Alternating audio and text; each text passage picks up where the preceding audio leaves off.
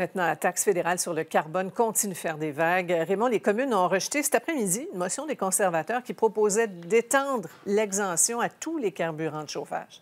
Exact. C'est une motion qui a été soumise au vote et qui a été rejetée, comme vous l'avez mentionné, 186 à 135. Évidemment, les députés conservateurs ont appuyé leur propre motion, les néo-démocrates aussi, alors que les libéraux et les bloquistes ont voté contre. Mais il y a eu plusieurs abstentions, Sophie, euh, du côté libéral, du côté néo-démocrate également, notamment euh, Alexandre Boulris, le chef adjoint du NPD, qui s'est abstenu de voter cet après-midi. Je vous rappelle qu'il y a une dizaine de jours, M. Trudeau a annoncé une exemption à la taxe fédérale sur le carbone, mais seulement pour les gens qui chauffent au mazout, pas pour les autres. Alors, ça soulève certaines divisions. Et parallèlement, à la Chambre des communes, il y a les premiers ministres provinciaux qui étaient réunis aujourd'hui du côté de Halifax, à l'exception de François Legault, le premier ministre du Québec. Ils ont tous demandé euh, au fédéral d'être équitable, d'exenter tout le monde de cette taxe fédérale sur le carbone pour ce qui est des huiles à chauffage, des, produits pour chauffer les, les maisons. Mais le gouvernement fédéral a répété aujourd'hui, il n'y aura pas d'autres abstentions.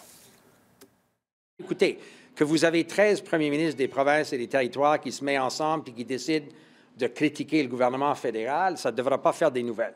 C'est aussi, euh, euh, c'est aussi ancien euh, que la Confédération elle-même. Il y a aussi une petite controverse lors du vote, Raymond.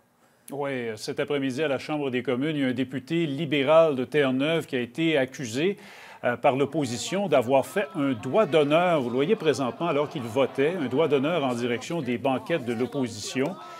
Euh, je vous laisse juger de la scène. M. McDonald a, nié l'accusation. Il a plutôt euh, expliqué qu'il se grattait la tête avec deux doigts.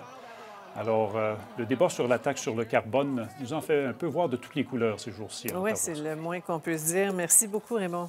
Je vous en prie.